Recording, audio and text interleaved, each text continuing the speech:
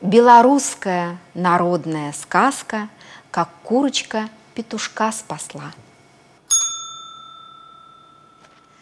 Жили-были курочка и петушок.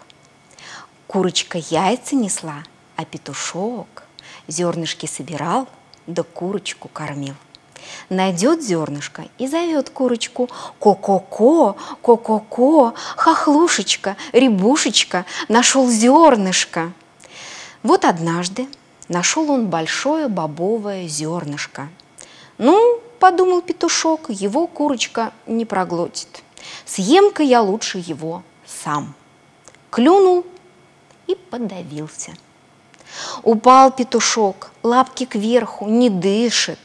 Увидала курочка, подбежала, испугалась и спрашивает, что с тобою, Петенька, почему упал, почему не дышишь?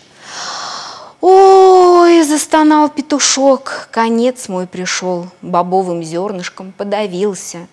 Как же тебя спасти, Петенька? Надо масло достать, горлышко смазать. А где же его достать? У коровы попроси. Побежала курочка к корове. Коровушка, буренушка, дай масло. Зачем тебе масло?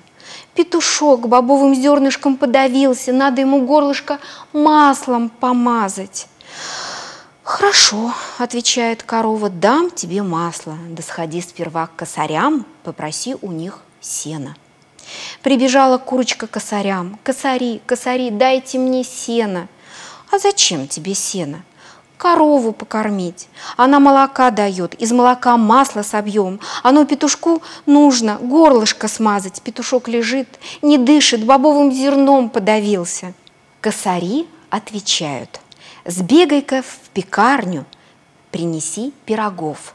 Мы их поедим и сено накосим. Побежала курочка в пекарню.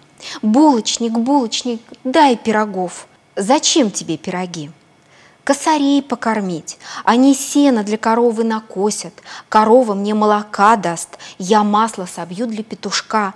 Он, бедняжка, лежит, не дышит, бобовым зерном подавился.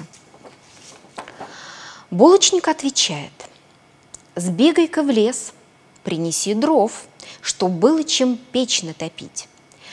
Побежала курочка в лес, принесла дров. Булочник напек пирогов, принесла курочка пирогов косарям. Косари наелись, сил набрались, и сена накосили много-много. Корова сена поела, молока дала. Из молока курочка масло сбила, петушок смазал маслом горлышко и легко проглотил бобовое зернышко. Проглотил и весело запел. Кукареку, курочка, молодец!